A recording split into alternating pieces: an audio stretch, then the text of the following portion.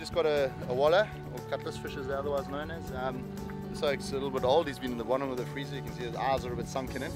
But uh, yeah, they work well nonetheless. They they got a good shine, they swim nice and straight because they're quite a quite a slender bait. So you can pull them in current, you can pull them on jet skis. Um, you know, it would be my bait of preference on a jet ski because uh, basically you don't have the the, um, the speed variation that you've got on, on, on, a boat or on a paddle ski. So, so these baits really trawl well. We use these out in the deep here, um, particularly off carpenters. Uh, and they, yeah, as I said, they swim well. They uh, they're visible from a long way away, so it's like a big, a big, uh, big number plates, and uh, yeah, they, they catch catch good fish.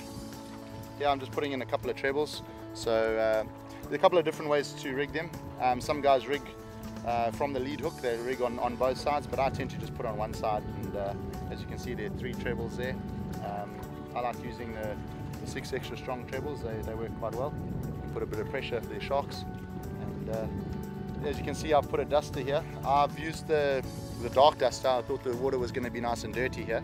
So um, I generally use a darker, high contrast um, duster so that it's, uh, you know, it's a focal point for the fish. In dirtier water, things go a bit yellow, so uh, a nice dark, dark duster sort of breaks the light a bit. So, but that's, uh, that's the theory, and uh, yeah, on nice clean water you can use the, the pearl colors, um, any. And they always say the color catches the fish, not the fish. So, see if we can get another couta.